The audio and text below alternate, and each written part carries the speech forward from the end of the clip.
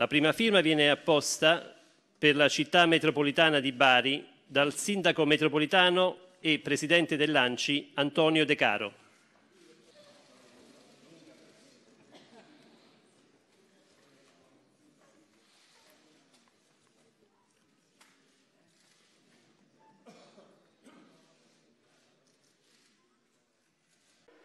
...500 milioni è l'impegno che si materializza oggi, ma sapete tutti che il progetto riguarda eh, 120 interventi, quindi altri 95 rispetto a quelli che oggi abbiamo firmato eh, e gli impegni economici, le disponibilità economiche per completare questo eh, percorso ci sono.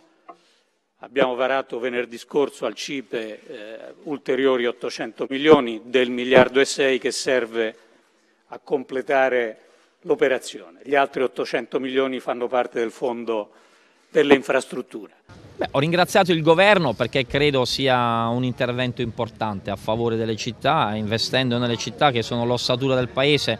Questo è un investimento di oltre 2 miliardi di euro proprio per il paese. Un investimento importante dal punto di vista operativo perché il finanziamento permette di tirar fuori progetti dai cassetti che altrimenti sarebbero rimasti lì. Dal punto di vista strategico inseriamo singole azioni eh, locali all'interno di una strategia nazionale sulle periferie. Allora io direi che oggi è stata una mattinata importante, molto significativa.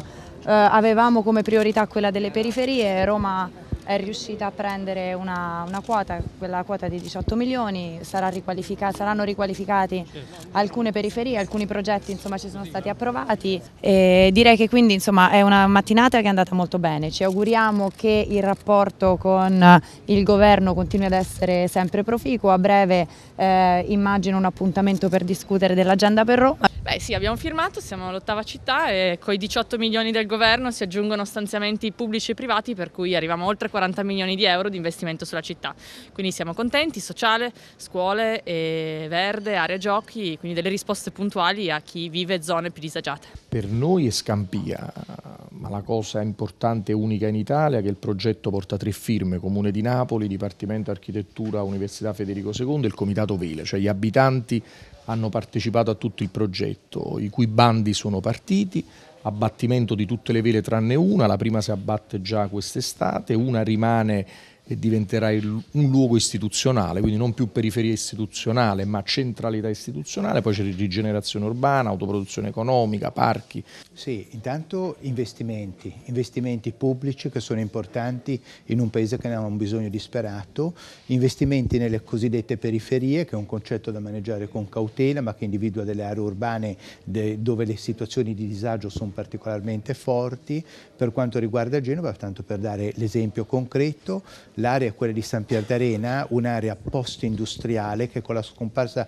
delle fabbriche ha visto proprio cambiare e in larga misura perdersi anche la sua identità. Il fenomeno delle baracche è stato subito un fenomeno che la gente andava a costruire come meglio poteva, però ecco, dopo tanto tempo eh, quando si costruivano qualche casa per i baraccati non si abbattevano le baracche e il baraccato la vendeva al figlio, la dava al figlio oppure la, addirittura la vendeva. Noi abbiamo già cominciato ad abbattere invece le baracche perché sennò non c'è mai fine. Con questi soldi si faranno due addirittura quartieri, quello che è Fondo Sacca e Fondo Fucile, storici eh, per veramente un'immensità di baracche.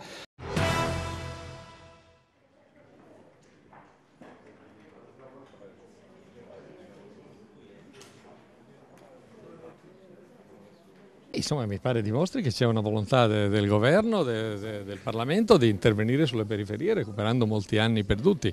E quindi se i diversi livelli istituzionali eh, si muovono insieme ad aziende come l'ANAS eh, si possono fare cose molto, molto, importanti, molto interessanti.